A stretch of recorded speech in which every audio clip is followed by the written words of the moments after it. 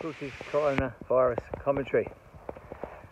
Okay, it looks like we're coming to a different phase. Um, schools will be back full time on Monday. Um, whether that's right or whether it's wrong, we're soon going to find out. Um, the infection levels in Australia are relatively low, community transmission is low, and uh, the deaths have remained low. I think we've had 100 people die uh, altogether. Uh, which is terrible. But uh, if you compare it to what's happened elsewhere, um, that's not such a, a bad result. Um, just thinking what's changed during this time, um, I think a lot of things will never go back to how they were. Uh, I think we're going to become a lot more aware of our um, hygiene, um, our personal space.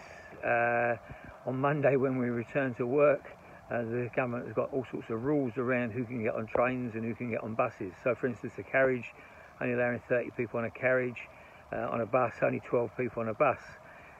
It will be a catastrophe. It will be a disaster on Monday, uh, but I think they'll just let it run that day. They'll see that some people won't actually get to school, some people won't actually get to work on the day. Uh, lots of more people are going to drive. Uh, the traffic's going to be very, very heavy. Parents will be taking their kids in and going to pick them up. So I think what's going to happen is that uh, by Tuesday, the government will realise that the uh, travel restrictions they're putting on people are not going to work. And so what they'll do, like what they've done with a lot of other things, they'll just change their mind and they'll say, oh, there's no need to have um, that sort, those sorts of restrictions on carriages. Um, back into school, look, I, I've really enjoyed doing the online stuff. Uh, the last two weeks we've been doing a combination of online and face to face. As I say, our school St Pius will all be back face to face on Monday. There may be one or two staff who don't come back, but um, the school's very aware of uh, personal hygiene. Uh, it's got all sorts of PPE devices and hand sanitizers. And I think the kids, apparently, the ones who've been there, have been very good. Um, perhaps we're all going to be a little bit more kind to each other in, in the world, I'm not sure, a little bit more considerate.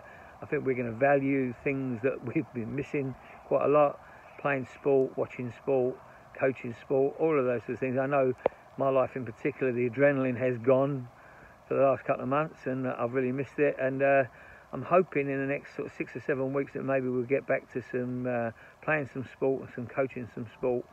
Um, but it's, it's, going to take a time. I think the uh, authorities will be slow to allow people to do things like that. So here I am, as I've been the last couple of months, rambling away about the coronavirus, and that's what it is. It's Quilty's coronavirus commentary.